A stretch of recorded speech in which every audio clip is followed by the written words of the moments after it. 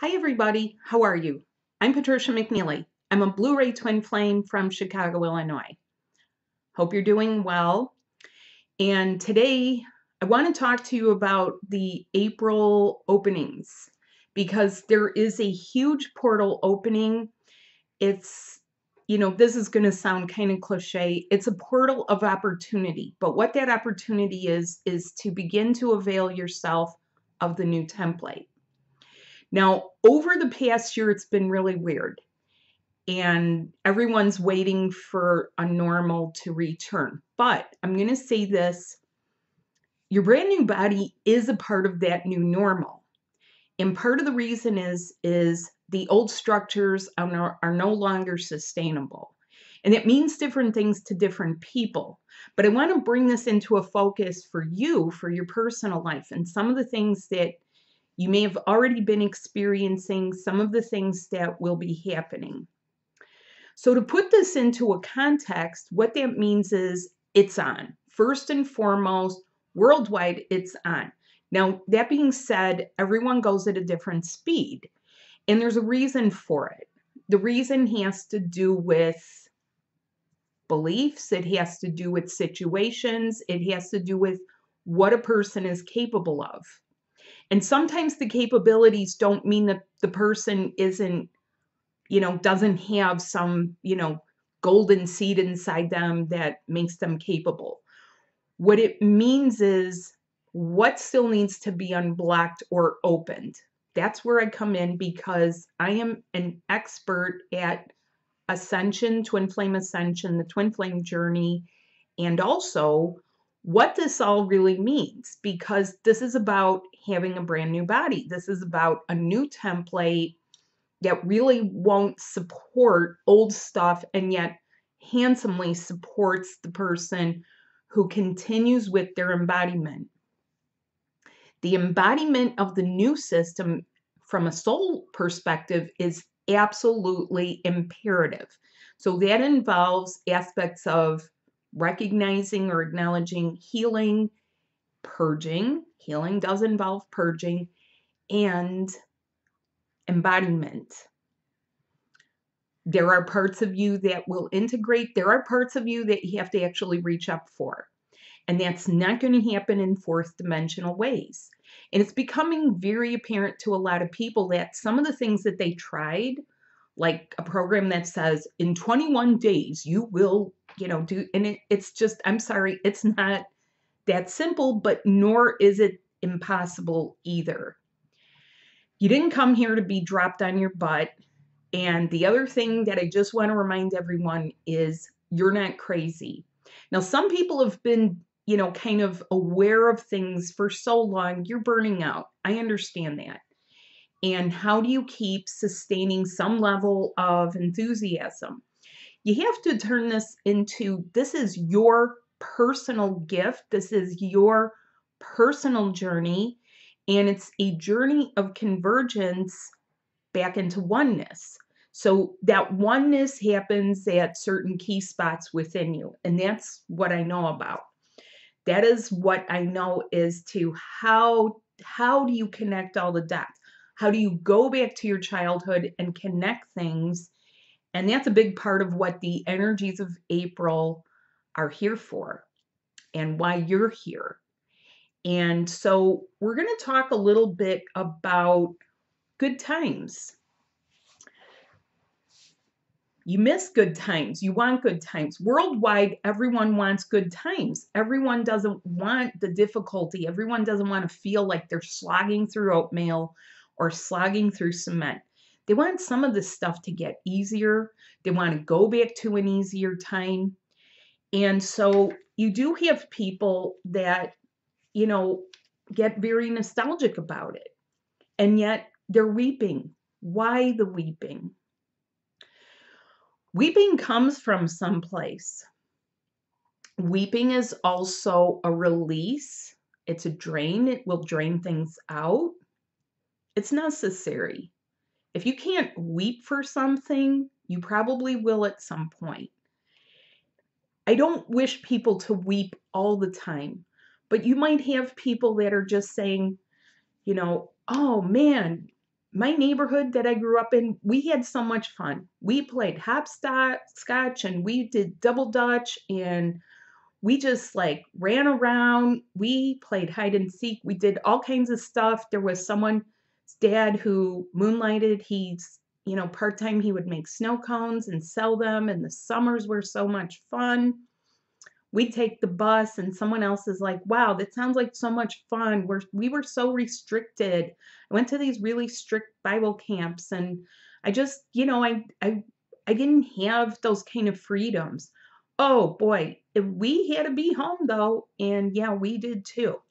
I saw so many things, and sometimes boys in my neighborhood would get in trouble, and, and yet somehow we knew they were good guys. And we all hung together. We dance and dance and dance and dance. Oh, we weren't allowed to do certain things like that. I just really, you know, I feel like I'm missing what I never knew that I missed. Do you ever feel like that? Do you feel like you're missing something that you never knew you missed it? That you somehow feel it exists, and yet it's elusive, and yet it belongs to you. And yet you may have experienced it because you can feel it, and you wonder, where does this come from? Why am I missing or having a nostalgia for a place and a time that I don't even know if I was there or if it even exists? Is this just some abstract idea? Is this some other force? Well, it is a cosmic force. It's a cosmic force of remembrance. It's for you to really feel.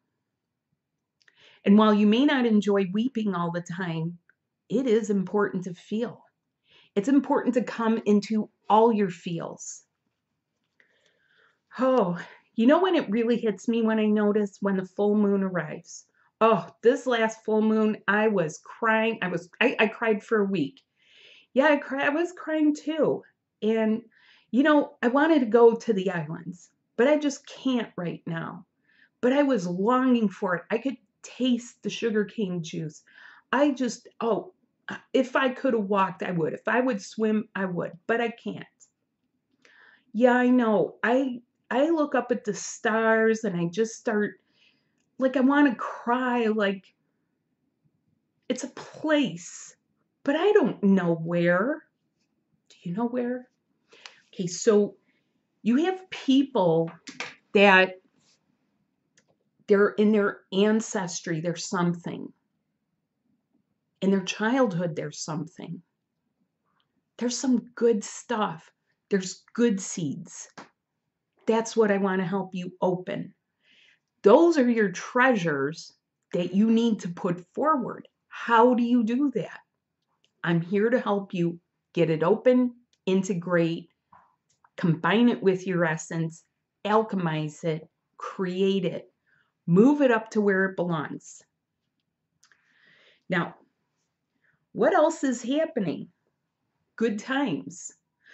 Some people's idea of a good time is very different than other people's idea of a good time. I work a lot with adults, but adults forget to play or their manner of play becomes something else.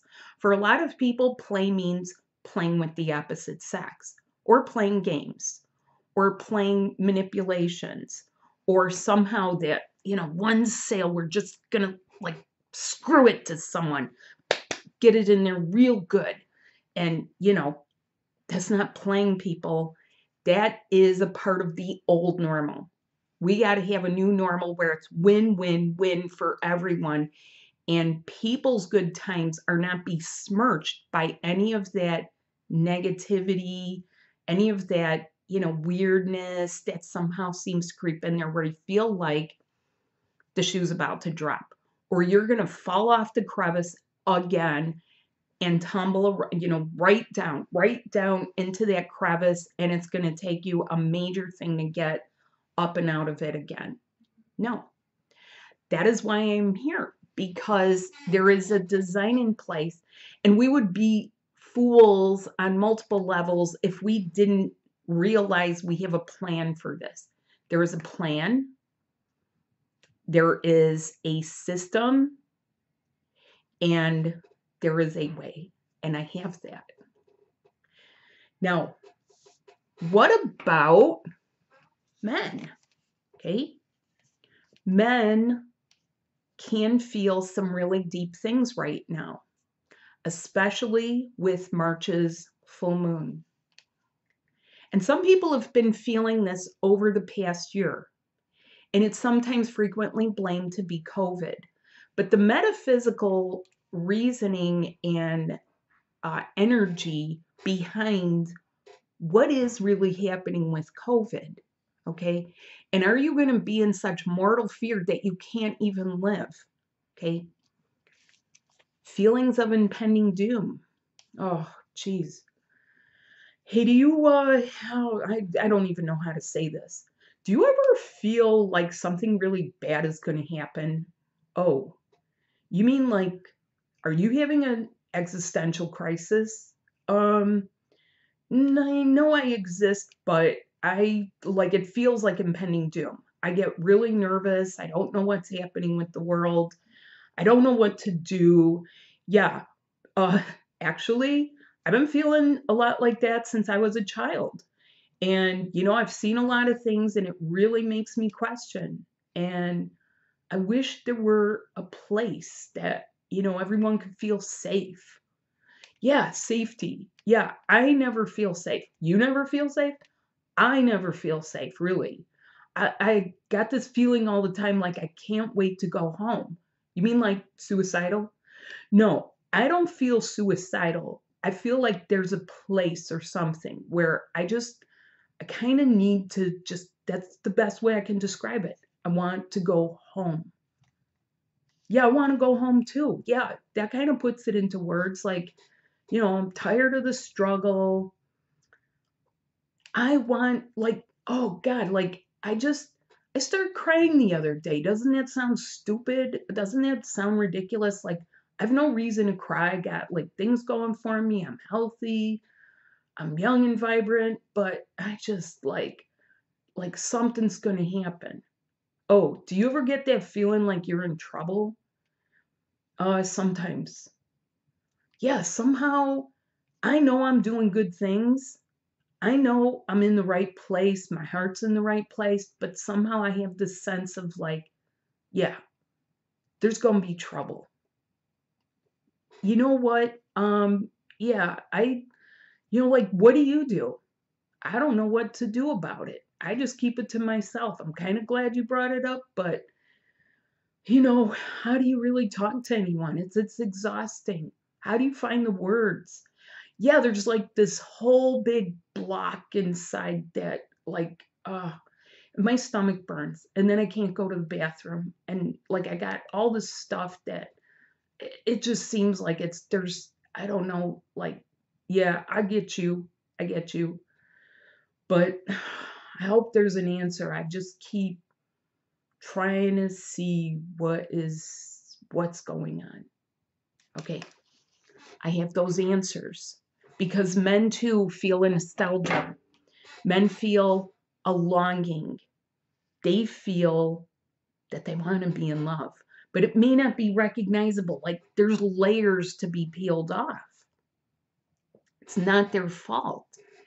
In many ways, the way that history has been, it's burdened both men and women. Okay. And it doesn't matter if you're gay or straight, those are extra burdens too sometimes. And so I do have a fabulous workshop in four parts where we're not only going to address this, I'm going to help you with your other senses other than your five human senses because there are other things that you need to know about because this is going to progress along. Why not jump on it? Why not get yourself on board with the 5D body work that really gets results? So, uh, my workshop is called The Lover Within because regardless of who you've met, and most of the time people have met someone who is not their significant other half of their soul, nor have they met someone who truly can, you know, hold the embodiment and they fritter away. Your soul's not going to keep them around. Your soul's like doink, doink, doink, doink. Get out bug off, get out of here. Because you're not here to sustain that same old thing and then have to heal it again. Hell no. So the lover within still exists and will still, you know, help you to steer clear of some things. You may have been dodging a bullet, and yet you may not still be healthy or headed toward a healthy relationship. And you need to know about this stuff because we're going to cover it. The sensual lover, what is a sensual lover? Well, first of all, it's exactly what it implies someone who is tender and caressing and intimate with you. But it's also the other side of that word of the senses, being sensual, sensing, someone who gets you, someone who is you because they're the other you. And not a lot of words need to be said. You don't need to decode anything. All this BS out there about, you know, being a junior psychologist and decoding, it's baloney. Okay, throw it in the garbage. If you wasted time with it, then so be it. But come and join the stuff that you need to know to get you open. Your new angelic senses and chakras. There are brand new chakra and shared connections that need to open and get connected, and you will feel the difference. Opening your inner chakras and developing. This is many times what the men need. And women need some of it, especially in the reproductive areas. High heart 5D emotional spectrum. Do you know that you truly are a being that is from someplace? And even though you could say, like, well, I'm living here right now, I just want to live my life. Yeah, I get it. But you're still going to need to, we're doing this at ground zero. This is ground zero. This is the rebuilding. This is essential for you. And it is important to expand your EQ. And that doesn't just happen with compassion. And I'll explain to you in this how it does happen and the difference between the caveman days and modern times. Emotional freedom from within. Wouldn't you love to get rid of obligation, guilt, shame, self judgment, or other people who do that to you? Of course. There is a rerouting, and I will be helping with a twin flame reconnection of the neural, especially for fight or flight. Do you have fear? Of course you do. Fear is a normal emotion in a lower vibration. Fear can motivate you. Irrational fear isn't normal. Think about that a minute, okay? Fear has its place. And yet, what has built up over just since you were born? Probably a lot. And that's not to even mention stuff like phobias or traumas or things you've been repeatedly subjected to. Okay. So that is a very important part of this. If you're not surrendering to it, allowing it, it ain't going to happen because it requires your participation. I know this because I've done it. I know it because I've been helping people with it, and they see the difference. They're getting results. They're able to do things without yelling and magically part the seas, move things into place, open the doors, usually with just a breath of fresh air. So what better way to uh, time this than on the new moon, use the energies of seeding at the new moon to start. We are starting April 11th at 9 a.m. Central. Um, I'm located in Chicago. Let me know if you have a, a different time zone. I can do the time conversion. The link is below to join. It's in four parts you happen to miss a part, you will get the recording, but I strongly encourage you come participate because my format is we go over the information, I open up the floor, and we get really to hear you. And even if you don't want to participate, you can hear other people. Sometimes that, in and of itself, the synergy of a group helps. Hearing other people, knowing you're not alone, knowing you're not crazy, and knowing that Love is finding you, and love will always find you. And you can be proactive with it. Don't hide it. Let's get you to shine and let's get you in your love, or as I say, in your love bubble. Rise above, change your perspective in love. Thank you. Have a good day. Look for me or email me at twinflamesmerge at gmail.com. Bye.